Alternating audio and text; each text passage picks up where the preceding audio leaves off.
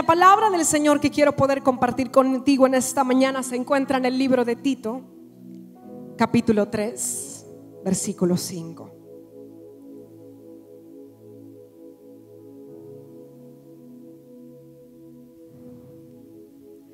Tito capítulo 3, versículo 5. Quiero que inclines rápidamente tus, tu cabeza, cierres tus ojos. Padre, gracias por cada vida que ha llegado hasta aquí, porque no ha sido por casualidad, ha sido por tu mano soberana. Gracias, Señor, por cada corazón aún a la distancia. Te pedimos que hayan corazones y mentes receptivos a tu palabra y a tu presencia en esta mañana. Que tú lleves cautivo todo pensamiento de duda, temor, inseguridad, culpabilidad, vergüenza, Señor, y dolor. Y seas transformándolo por pensamientos de bien y de paz. En el nombre de tu Hijo Jesús. Amén, lo declaramos. Dice la palabra del Señor en Tito capítulo 3, versículo 5.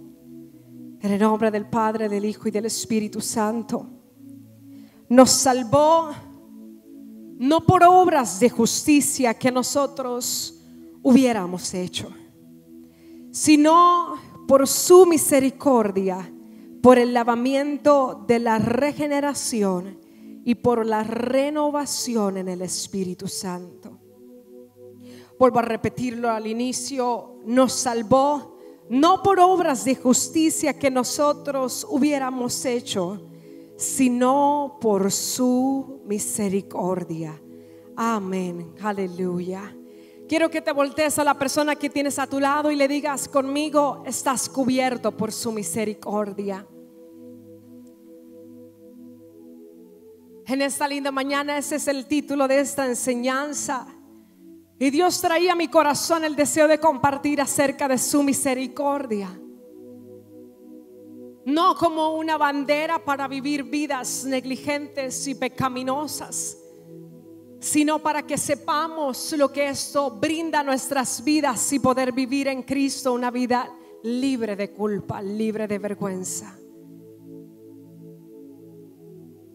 Y dice la palabra del Señor que nos salvó no por obras de justicia, sino por su misericordia.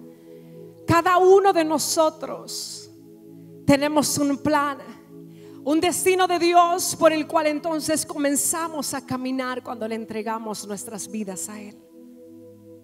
Estamos rendidos en obediencia y le decimos, Señor, que se haga tu voluntad. Pero en el proceso de este camino, muchas veces tomamos malas decisiones. Muchas veces cometemos errores. Y de repente pensamos que lo que Dios había comenzado a hacer a nuestras vidas de repente se detendrá. Que lo que Él había declarado sobre nuestra familia o sobre nuestros planes ya no se cumplirá. Y podemos comenzar a caminar con nuestra cabeza abajo. Pero eso no es lo que Dios quiere. Dios quiere que tú puedas comprender qué significa su misericordia. Qué significa estar cubierto por sus misericordias.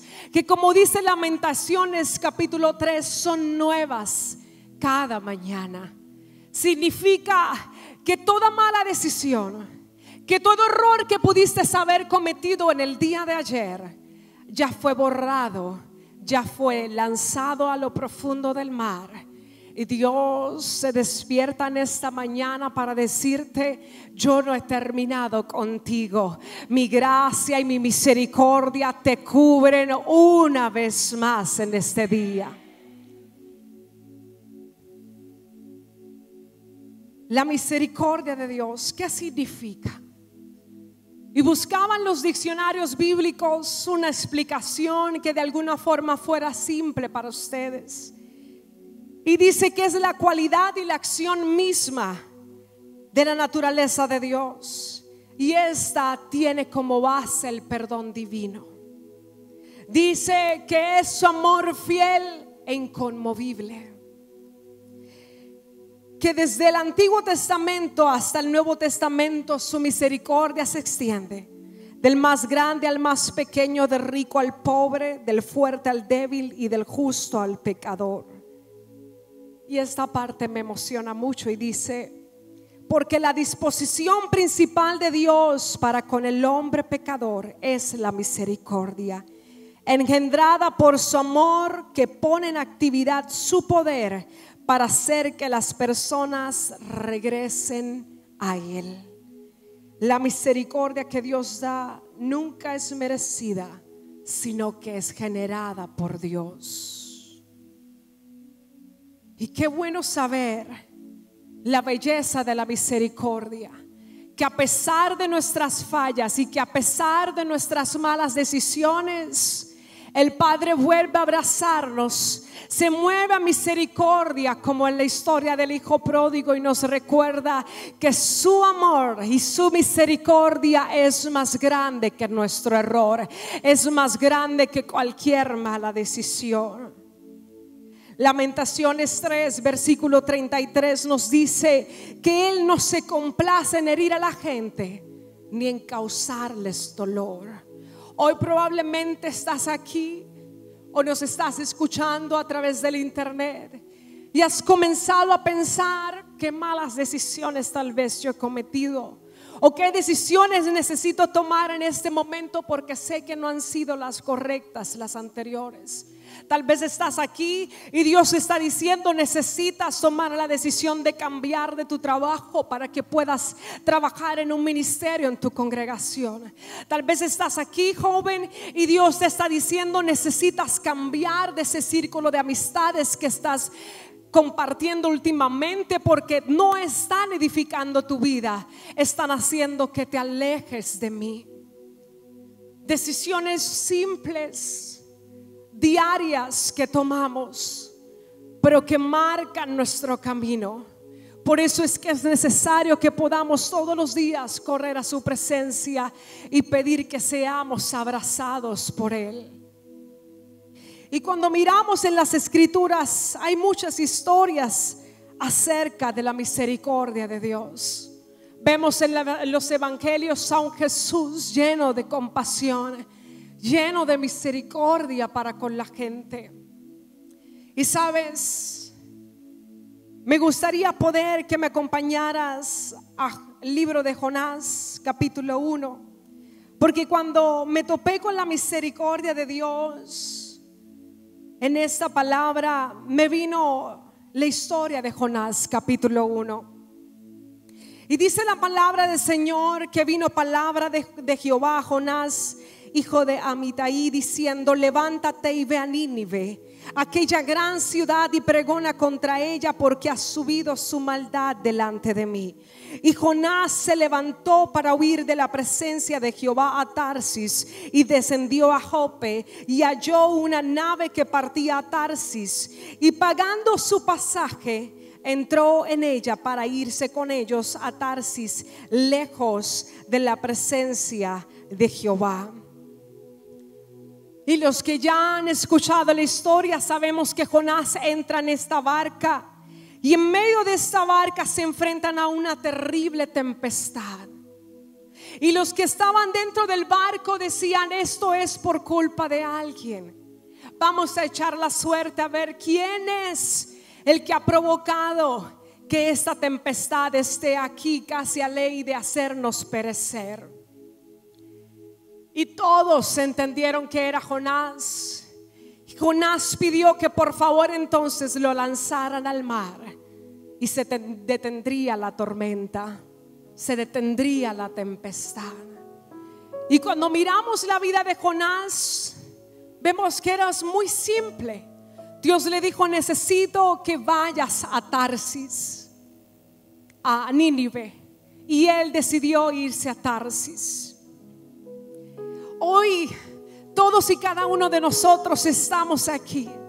Y probablemente Dios te ha dado una palabra. Necesito que hagas. Necesito que camines. Necesito que creas. Necesito que confíes. Necesito que te mantengas firmes haciendo esto.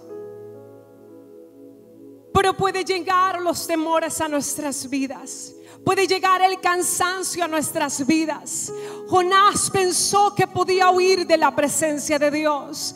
Me encanta porque el salmista en el Salmo 139 dice, ¿a dónde me iré de tu espíritu y a dónde huiré de tu presencia? Si tomare las alas del alba y aún habitar en el extremo del mar, aún allí tu mano me guiará. Independientemente de nuestro error, de nuestra mala decisión, no hay forma de escapar de su amor. No hay forma de escapar de su bondad. No hay forma de escapar de su cuidado. Jonás pensó que estaba descalificado, que ya perecería dentro del mar. Sin embargo, al instante, Dios tenía preparado un pez gigante en el cual Jonás estuvo tres días y tres noches. Al momento en el que tú tomes una mala decisión. Al momento en el que de repente te percates y digas, uy, no debí de haber dicho esto. Uy, no, debí no debí de haber llegado a este lugar. Dios ha preparado tu salida para decirte, yo soy el Dios de una nueva oportunidad. Al momento Dios creó la ballena, la envía bueno, teológicamente todavía es un debate, pero todos entendemos que pudo haber sido una ballena. En donde estuvo tres días. En un momento de gran oscuridad, como muchos de nosotros hemos estado. Un momento en el que pudiera parecer que Dios guarda silencio y pensamos que es a causa de nuestro error o de nuestra mala decisión. Pero Jonás hizo algo que cambió el destino de su vida. Jonás hizo algo que tú y yo necesitamos hacer todos los días. Dice la palabra del Señor en el capítulo 2, que allí dentro del pez, allí en medio de ese momento de gran oscuridad, él levantó su corazón a Dios y comenzó a orar. Y comenzó a levantar una oración donde dice, invoqué mi angustia a Jehová y él me oyó. Y desde el seno del Seol clamé y mi voz oíste. Y dice en el último versículo, versículo 10, y mandó Jehová al pez y vomitó a Jonás. Si te fijas, su pecado fue grande, pero el amor de Dios es mayor que tu pecado. Su gracia y su misericordia es más grande que tu mala decisión. No importa cuál sea tu pasado o aún tu presente, su amor y misericordia y su gracia es más grande que ello. Me encanta porque Jesús en la cruz del Calvario tenía dos ladrones. Habían tres cruces en aquel lugar. Un ladrón le reconoció como el Hijo de Dios y le dijo, acuérdate de mí cuando estés en el paraíso. El otro no le quiso reconocer. Pero sabes que me estremece que Jesús no le preguntó, ¿por qué tú estás aquí? Jesús no le dijo, ¿qué fue lo que hiciste? ¿Por qué te estás aquí en la cruz conmigo? ¿Cuál ha sido tu pecado? ¿Cuál ha sido tu falla? No, al momento que Jesús comprendió que ese hombre lo había reconocido como el Hijo de Dios, le dijo, de cierto, de cierto te digo, que desde hoy estarás conmigo en el paraíso. Cuando tú te arrepientes, cuando tú le reconoces como tu Señor y como tu Salvador, el Padre inclina su rostro, se mueva misericordia y te dice, hijo, yo te amo y estoy aquí para darte una nueva oportunidad. Yo no he terminado contigo. Tú no te has descalificado por tu mala decisión. En el libro de los evangelios vemos la parábola del hijo pródigo.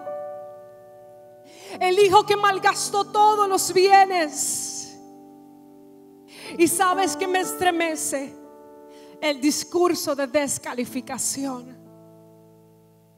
Yo creo que ante el pastor tal vez han ido muchos con un discurso de descalificación. el hijo dijo, voy a ir a donde mi padre y le voy a decir, Padre, he pecado contra el cielo y contra ti. Ya no merezco ser llamado ni siquiera tu hijo. Pero aunque sea, aunque sea, recíbeme como uno de tus jornaleros. Y dice las escrituras que cuando aún iban de lejos, cuando iba de lejos, ambos se vieron. Y el padre corrió hacia el hijo para abrazarlo. Y dice las escrituras que extendió su misericordia sobre el hijo para abrazarlo y acercarlo a su cuello. No lo dejó que terminara el discurso. Cuando el hijo dijo, Padre, pecado contra el cielo y contra ti, le dijo, pero, pero, dice las escrituras, pero el padre mandó a llamar y le dijo, por favor, Traigan en el vestido, traigan en el calzado, coloquen en el anillo para que este hijo entienda que estaba perdido y es hallado, que estaba muerto y ahora vive. Aleluya. Que el lugar que tal vez tú habías pensado que habías perdido delante de tu Padre Celestial, Él te dice en esta mañana, no lo has perdido porque mi gracia y mi amor es más grande que todo lo que hayas hecho en el el camino. Yo estoy aquí para recibirte con los brazos abiertos. Es la sangre de Jesús la que comienza a escribir una nueva historia sobre tu vida. Por eso Dios te dice en esta mañana, si has llegado cansado, si has llegado bajo la vergüenza, si habías pensado en descalificarte y decirle al pastor, ya no voy a servir más, pastor, ya no me voy a congregar más, pastor, ya no puedo cantar más, pastor, ya no puedo hacer nada más porque he fallado demasiado. Yo quiero que puedas comprender que su gracia hoy te abraza, que su amor hoy te abraza y te dice, hijo, eres perdonado. Yo no te miro como pecador, ya yo te miro como mi hijo, porque la sangre del Cordero de Dios allí en aquella cruz derramada me hace verte como mi hijo y perfecto ante mis ojos. Ya no hay manchas. Ya no hay nada que te se pueda separar de su amor. Una joven se acercó a mí muy triste y me dijo, hija de pastor, que había enfrentado la difícil situación de perder a su madre. Universitaria, en un acto de rebeldía, decidió ir a un concierto de música de rock. Y me dijo, estaba tan molesta, no entendía por qué Dios se había llevado a mi madre. Y pensé, este es el momento para desquitarme, me voy a portar mal, voy a tomar una mala decisión. Y mientras está en este concierto, ella me decía, había una pesadez en aquel lugar, yo no lo puedo explicar. Pero cuando estoy por salir, el jefe de la banda me dice, quiero que pases con nosotros al área backstage. Ella me dijo, no tengo ni idea de cómo ese hombre me vio, cómo me disipó desde lejos, cómo me invita para el área backstage. Y le dice, no, yo quiero que tú estés con nosotros allá atrás. Y ella le dice que está bien. Pero de repente sale una mujer que era la jefa de todo el grupo de la banda.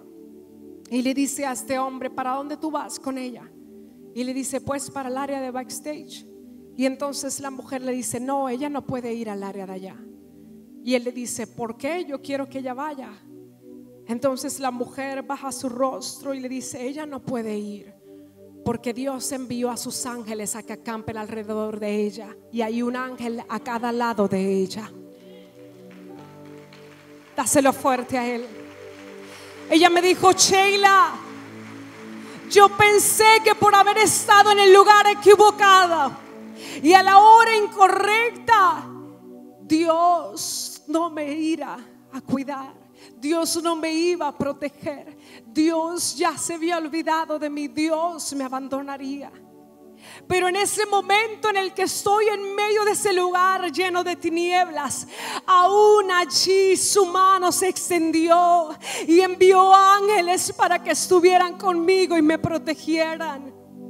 Hoy le sirvo al Señor con toda mi pasión y Dios sanó mi corazón para entender el proceso difícil del duelo. Pero lo más que me estremece es cómo a pesar de que nosotros pensamos que nos descalificamos por nuestros errores, una y otra vez el Padre se mueve a misericordia y nos dice, yo me deleito en la misericordia, me deleito en restaurarte, me deleito en levantarte, me deleito que entiendas cuánto yo te amo. En esta linda mañana, me gustaría que pudieras inclinar ahí donde tú estás tu rostro.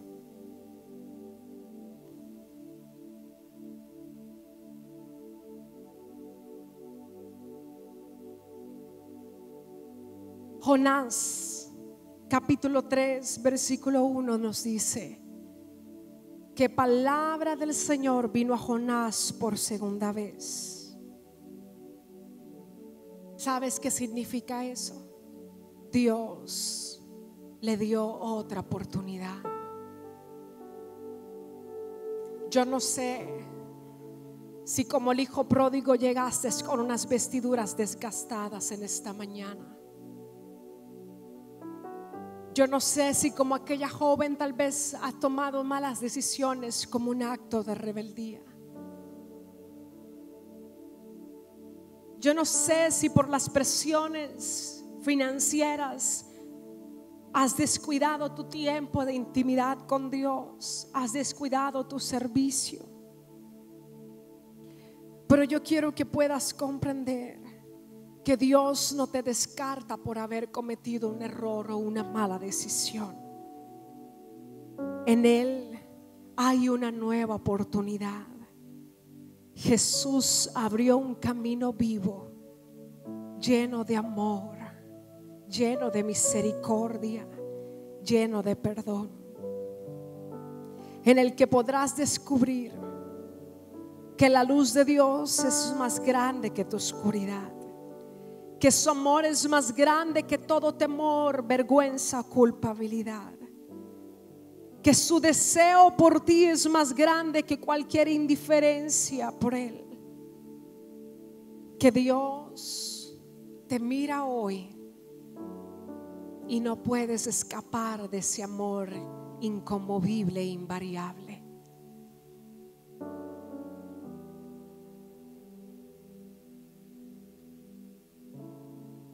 Gracias Jesús. Gracias por tu presencia. Gracias por tu amor.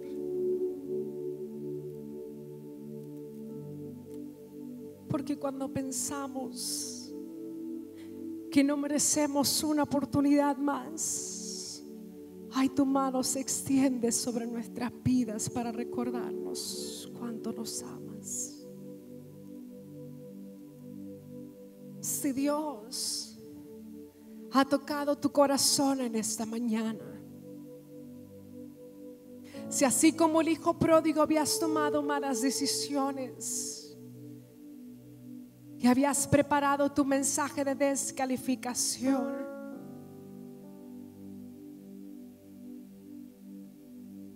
Si así como Jonás Dios te dio una dirección y decidiste por otra cosa, el Padre hoy te está diciendo, tranquilo, corre a mi presencia como corrió Jonás, corre a mi presencia. Y de ese momento oscuro en el que te puedas sentir, yo te rescato para darte una nueva oportunidad. No podemos terminar este espacio sin brindar la oportunidad Aquí si hay alguna vida aquí en este lugar que hoy quiera entregarle su corazón al Señor. Si hay alguna vida aquí en esta mañana que hoy le dice al Señor, yo necesito reconciliar mi vida contigo porque estoy cansada en el camino, porque de repente pensé que no merecía nada, Señor, ni siquiera tu perdón, porque de repente no sabía cómo volver a levantarme para continuar caminando. Si hoy Dios ha tocado fuertemente a tu corazón, si, si esta palabra ha latido fuerte en ti, has dicho, yo necesito levantarme, yo necesito correr a su presencia y ser abrazado por su misericordia en esta mañana, que me recuerda que siempre triunfa sobre el juicio, que antes de que se levante un dedo para condenarme, para criticarme o avergonzarme, levantan tus brazos llenos de amor para abrazarme. Si hay alguna vida aquí en esta mañana que quiera recibir al Señor como su Señor y Salvador, yo te quiero invitar a que levantes tu mano donde estás. Y tú le digas, sí Señor, yo voy a correr a tus brazos. Entiendo que tienes una nueva oportunidad para mí, aunque no lo merezca. Tu amor es más grande, tu misericordia es más grande que mis errores. Tu amor es más grande que mi pecado, Señor. Aleluya. Si hay alguna vida que le dice sí al Señor en esta mañana, que desee la oración en esta mañana, yo te quiero invitar a que corras aquí al altar con nosotros. Vamos a hacer una oración por ti, aleluya, antes de acabar este tiempo. Ven a los brazos del Señor. Ven y dile al Señor que cubra tu vida en esta mañana con su misericordia. Que te recuerde que no ha terminado contigo. Que es el mismo Dios de ayer, hoy, por todos los siglos de los siglos. Y que Él desea comenzar a escribir una nueva historia en tu vida.